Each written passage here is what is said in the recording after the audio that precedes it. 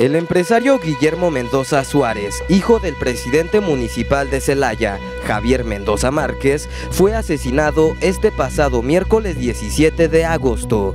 Los hechos se registraron cerca de las 3 de la tarde. Guillermo abordaba su camioneta Jeep Grand Cherokee color gris después de realizar compras al interior de una farmacia ubicada sobre la avenida 2 de abril, cuando hombres armados a bordo de motocicletas dispararon una ráfaga de balas en contra del empresario. Guillermo Mendoza quedó sin vida al interior de su vehículo. El gobierno local confirmó que el ataque fue directo en contra del hijo del presidente municipal por el partido Acción Nacional.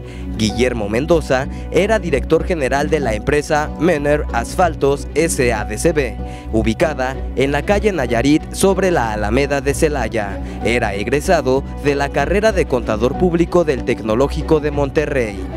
También estudió la maestría en Administración de Empresas en la Universidad de Celaya. Mendoza Suárez estaba afiliado al Partido Revolucionario Institucional.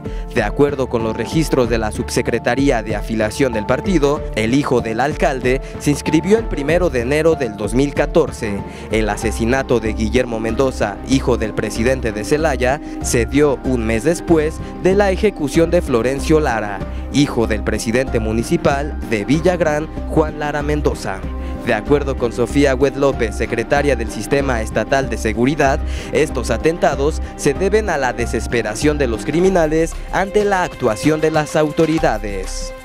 Para el Sistema de Noticias de TV Libertad, con imágenes de María Gutiérrez, informó Emanuel Mena.